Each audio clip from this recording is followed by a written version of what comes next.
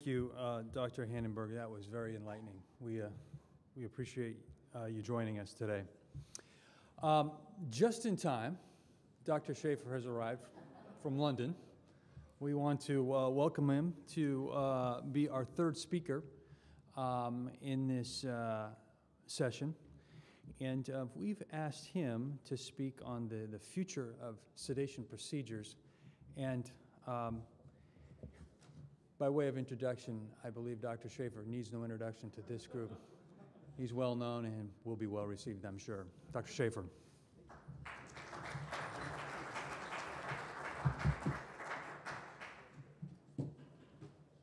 So first, let me just get plugged in here.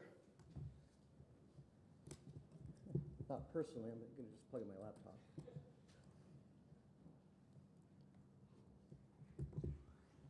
All right. Um, that's not what's showing on my screen. Uh, that, that's not. That's a pretty good guess. All right. Let's see here.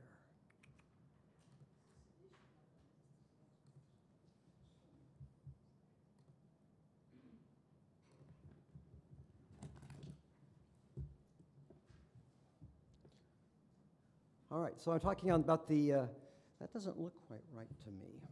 It's shrunk in an odd way.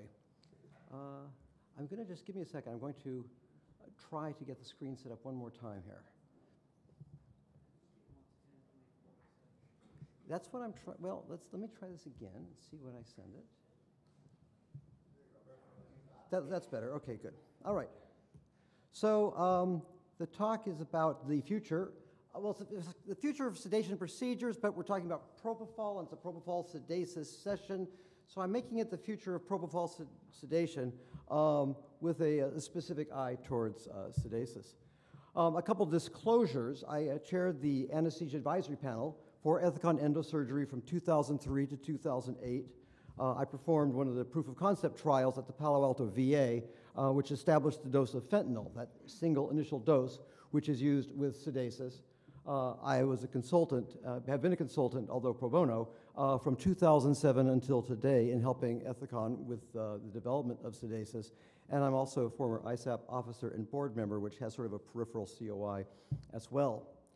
Additional disclosure, I want to acknowledge the support from the manufacturers of Provigil for making today's talk possible. Uh, another disclosure, this talk is about the future. And so the future is kind of data free because I'm out a free associate about the future. Um, almost everything I'll discuss will be off label. Much of what I will discuss doesn't even exist. I could actually give that disclosure for many of my talks. so first I'm going to talk about what anesthesiologists will like about Sedasys. Now this is not Sedasys as currently approved. This is what we would like, why we might want to get our hands on Sedasys ourselves. The first reason I think we would like to get our hands on Sedasys is that it has wheels. And you can easily move it from room to room, take it with you to all kinds of remote locations. It's, it's, it's easy, it's portable, it's small. Not only does it have wheels, it's kind of a self contained propofol delivery system. And I don't know about you, but I'd like to have that available to me. I think that'd be pretty cool. It's got all of our standard monitors on it you know, all kinds of nice little gizmos that, that hook up to it, things you recognize. And in fact, the oxygen administration cannula is particularly clever. Talmage, did you discuss this already? So what the oxygen delivery cannula does is it gives a baseline rate of two liters a minute, but it's not steady.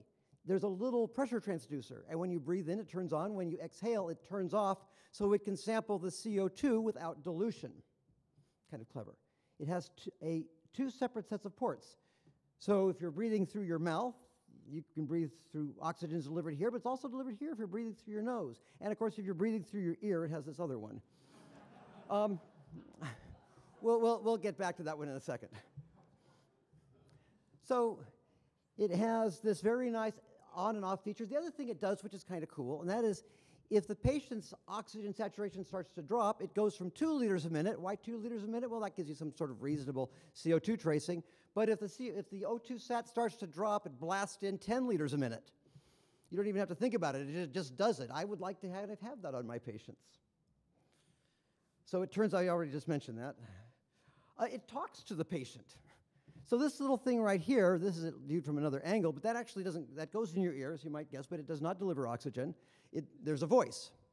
And the voice, if your O2 sat starts to drop or you haven't taken a breath for, I don't know, a couple hours, um, it says, take a deep breath. And it kind of does this, take a deep breath, um, except that it does it in 18 different languages. Now, you set that in advance. It doesn't change the language until you take a deep breath. you, you have to set that before you start.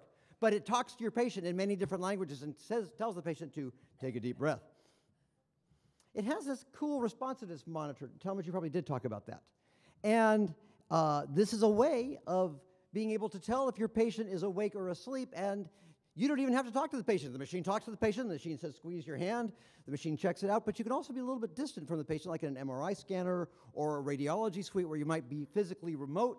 You will have a, a reading every 15 seconds of how fast the patient responds to this. And as you probably mentioned, Talmage, at first when you're supposed to squeeze your hand, this thing vibrates.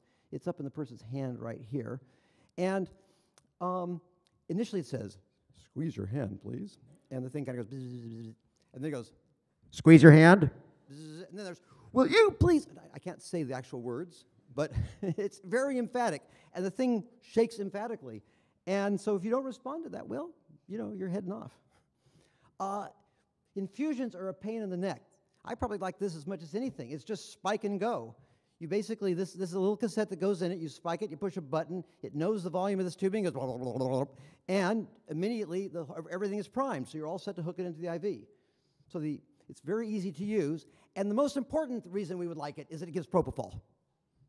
Now, I'm going to make an assertion here, which goes a little bit perhaps against what you've heard already, but my assertion is that propofol infusions are safer Propofol infusions are a safer sedative than midazolam boluses. So there are a couple of myths associated with propofol, and I just want to mention them because this does involve the future of sedation. Propofol is the future of sedation, I think. The first myth is that propofol has a narrower therapeutic range. There's no data that I found to support that. Can anybody, it's unfair to ask because in, in setting you won't put your hand up, but if any of you know of data to support the statement that propofol has a narrower therapeutic range than midazolam, please send it to me. I've been making this request now for a couple of years, and nobody has sent me anything. This is some work done at Stanford, and some of the authors of this work are actually in the audience here. Um, and what we did is, now this was not a head-to-head comparison, but it was an identical protocol where we did target-controlled infusions in the ICU, and we carefully calibrated the patient's responsiveness to steady state brain levels, steady state being maintained over 20 minutes an hour, something like this. So we really had steady state concentration response relationships. Now you have to normalize the potency, but once you normalize the potency, the curves are essentially superimposable. There's no suggestion that propofol is really steep and midazolam is very shallow. This is a review done by Robert Sneyd, who's also in the audience, perhaps. Robert, are you here? I saw him in London yesterday. I, I, it looks like I, okay. Looks like I left him there. But anyway, um, he, he did another review and very clearly demonstrated parallel dose response curves. There's another myth that propofol has increased risk of airway obstruction. I don't know where this comes from. These are GABAergic agents, and that's a GABAergic response. But a very nice study by Norton, published in Anesthesiology, the states, our findings do not suggest the use of propofol for moderate sedation when compared with use of midazolam is inherently more likely to result in airway obstruction in healthy subjects. Now, of course, that's sort of saying they're equivalent. And, they are, and, and there was no statistical difference. But I will point out that this is the patient who is at risk.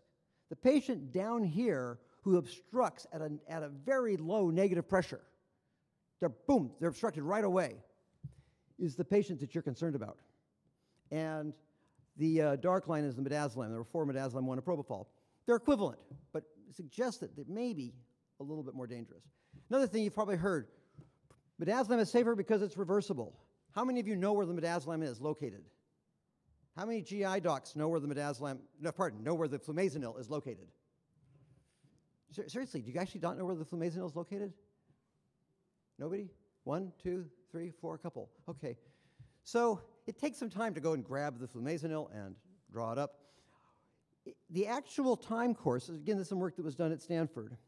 Uh, the actual time course uh, for the uh, midazolam onset is shown here pardon, I, I, for the flumazenil, I'm trying to go too fast. Uh, for the flumazenil onset is shown here. We actually did some work. And the onset of flumazenil peak effect is about four minutes. Now, at a propofol infusion rate that is associated with moderate sedation, we're not talking general anesthesia, we're not even talking deep sedation, we're talking moderate sedation.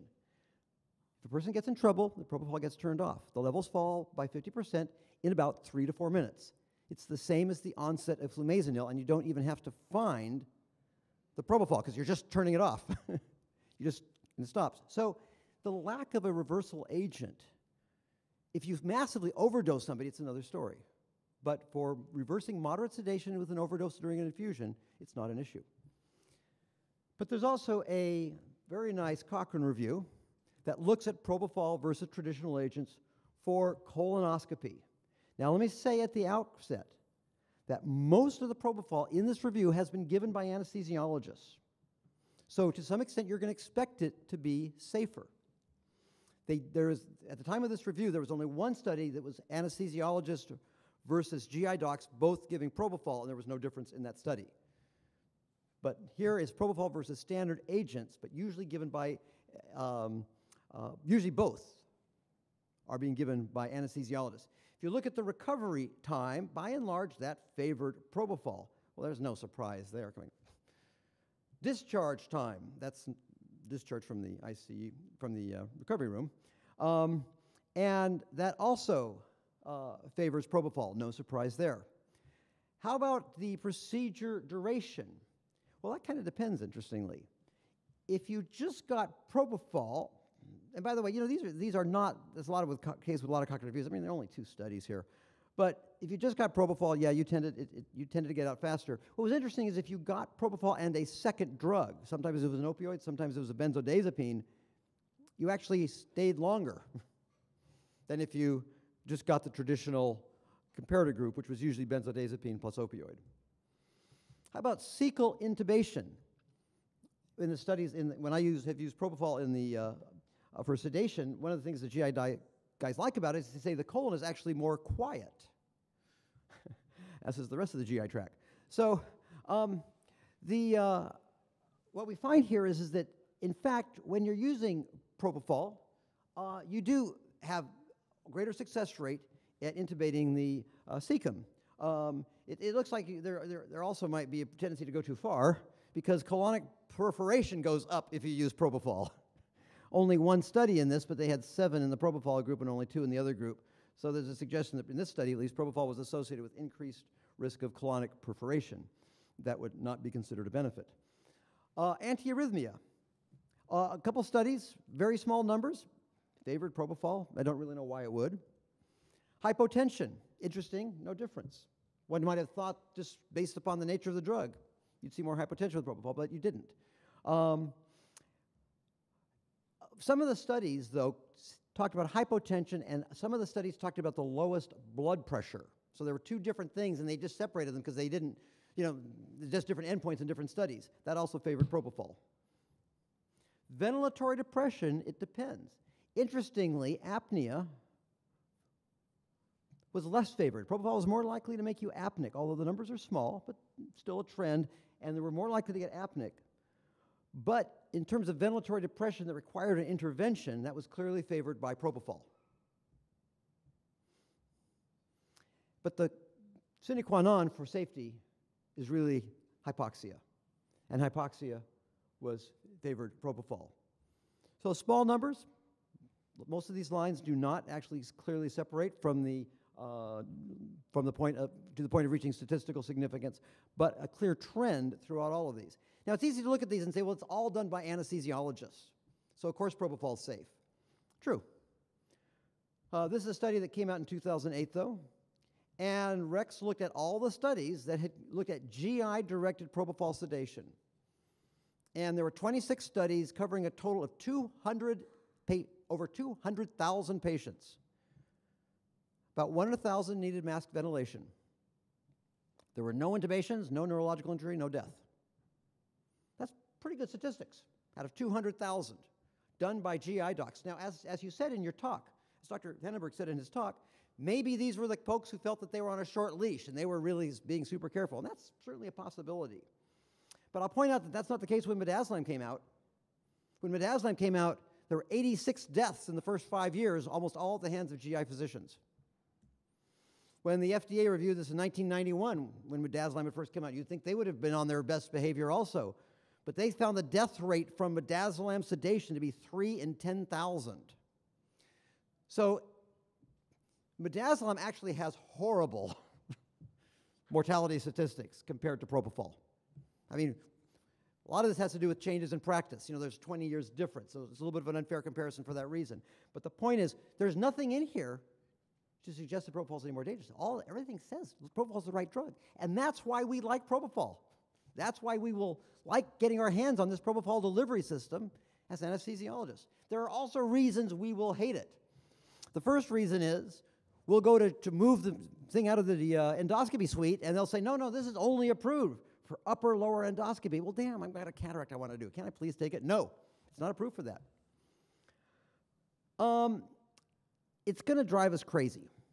It decreases the propofol infusion if the person stops squeezing that thing. I don't want my device telling me what propofol infusion rate to use. I want to control it. And it will drive me crazy to have it start turning it down. I'll say, stop, don't do that. I, want to go deeper. Sorry, we are turning you down. And if the person gets hypoxic or hypoventilates, it's going to turn it off. That's not what I do in the OR. Person's hypoxic, hypoventilation, I give them some chin lift. Maybe I put a mask on them, but there's a procedure going on. I'm not really too likely to actually just turn the propofol flat off, but that's what the machine will do. I'm not going to be very happy with that. There are very precise dosing limits, and the dosing limits are far narrower than what I'm going to want as an anesthesiologist. Interestingly, there's no, v, there's no V5 lead on the ECG. It's a three lead ECG. Personally, I want a V5 lead for my sicker patients. It's not tied to the electronic anesthesia record. For me, if I'm going to use it, that's almost a non starter. And it's got a drug dosing algorithm called the DRG algorithm, designed by James Martin, who's sitting in the back there. It's a really clever, really brilliant insight. And, and actually, James received some special awards uh, from J&J by virtue of, of the design of that. But it's not TCI. And for me, I want to have TCI. So Future number one computer assisted propofol sedation for the anesthesiologist. It would basically be this cool little gizmo here, but take out the dosing limits. I don't want them. I want to program if there's going to be a change in the infusion rate for any of these things. But that, I want that completely under my control. And that may change depending on exactly where I am, exactly the patient I'm dealing with, and uh, exactly uh, if I want to be paying attention or not. Um, I want a full five lead ECG. I want target controlled drug delivery. And I want electronic anesthesia record. But I think this is one of the futures of sedation. In our hands, neat device, it's got wheels, but these restrictions are taken off.